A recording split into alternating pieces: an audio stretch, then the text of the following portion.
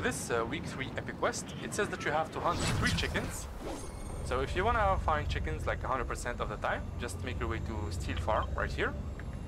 You'll find a chicken farm and a bunch of chickens roaming.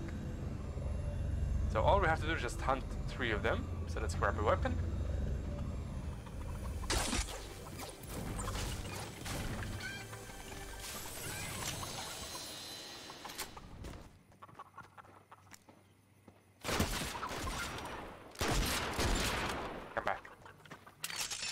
Back.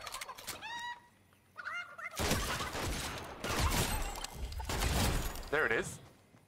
So just hunt three of them, and that should complete the challenge.